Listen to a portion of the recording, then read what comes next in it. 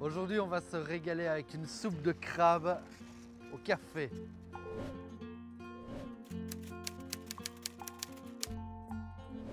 On émince un petit peu d'oignon, commencer, un peu de carottes et du thym. Tous les ingrédients, vous les retrouvez sur le site internet et sur nos réseaux sociaux. Je prends un peu d'huile d'olive, très peu, et j'y ajoute les légumes. Donc ça fait 4-5 minutes que nos légumes sont en train de fondre. Maintenant, on va ajouter les crabes. hein. Et on va les laisser cuire en tournant dedans pour bien les rougir, pour bien les colorer. On va les laisser pendant 3-4 minutes bien fondre et on va préparer notre crème au café. Une crème 35% de matière grasse.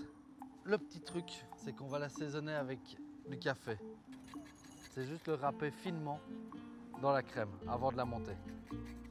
Voilà, donc là on va la monter, mais juste trois quarts, encore, encore un, peu, un, peu liquide, quoi, pas, pas trop dur. Maintenant on va ajouter un peu de concentré de tomate.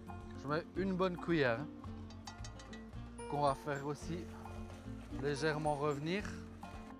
Et là on va flamber au cognac.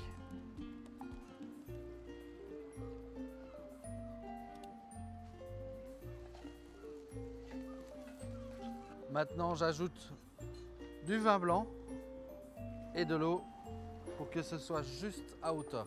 Le petit truc, on va ajouter quelques cuillères à soupe de riz rond. C'est du riz à risotto. C'est ce qui va permettre de lier la soupe, de lui donner de la matière. Et là, c'est parti pour une heure de cuisson avant de mixer. La recette du bonheur, c'est aussi comme aujourd'hui, savoir flâner à la panne. Dans le cadre de la triennale Culture Beaufort, le sculpteur Philippe Vervat a conçu Stegingsea, une œuvre d'art totale entre le paysage côtier, les lanternes et le pavillon. Les visiteurs peuvent s'y asseoir en attendant les marées. C'est ce que nous avons fait quand soudain, la marée est apparue presque en plein centre de la panne. Une heure plus tard, on a pris notre soupe, on l'a mixée au blender, on l'a filtrée et voilà le dressage.